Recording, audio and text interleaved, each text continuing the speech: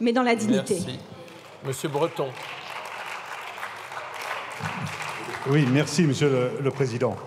La loi Claes-Leonetti, c'est pas une aide active à mourir. Oui, donc vous ne pouvez pas comparer. Donc euh, la comparaison s'arrête là immédiatement. Et certains collègues, bah si, vous avez d'un côté une aide active à mourir, et de l'autre côté, vous avez une sédation profonde et continue dans un certain nombre de cas, qui d'ailleurs, l'objectif n'étant pas de faire mourir, mais de soulager jusqu'à la mort. C'est ça l'objectif de la. Lisez toutes les, interviews de Jean Leonetti qui est frontalement contre le texte qui nous est euh, proposé aujourd'hui, ce qui montre bien qu'il y a une rupture, comme il le dit, rupture anthropologique sur le texte. Pourquoi on a voté un certain nombre contre à l'époque?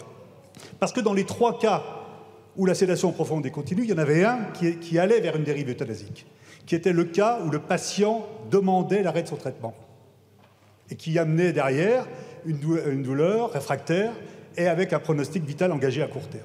Et le fait qu'il demande lui-même d'arrêter son traitement, nous étions un certain nombre à considérer qu'il y avait déjà une dérive euthanasique qui allait amener derrière, et nous y sommes, sur une loi euh, qui va déboucher sur le suicide assisté à l'euthanasie. Ça me paraissait nécessaire de bien préciser les positions de chacun pour montrer qu'il y a bien une cohérence dans nos positions.